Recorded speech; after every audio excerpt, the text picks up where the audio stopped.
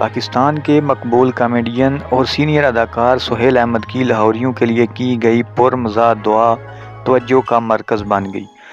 Viral video दरअसल लाहौर के FC college में मनकता एक मुशायरे की है, जिसमें सहेल अहमद को बतौर मेहमान खसूसी मदू किया गया था। सर्दी की शिद्दत के बायस सुहेल अहमद की जानब से मांगी जाने वाली इस दुआ ने महफल लूट ली और हर तरफ़ तालियों की गूंज ने समा बाँध दिया। सुहेल अहमद ने वहाँ पर मौजूद नाजरीन से दुआ पर आमीन कहने की दरख्वास्त करते हुए कहा कि अल्लाह पाक एफ़ सी कॉलेज वालों को किसी ऑडिटोरियम के अंदर मुशायरा करने की तोफ़ी अता फरमा।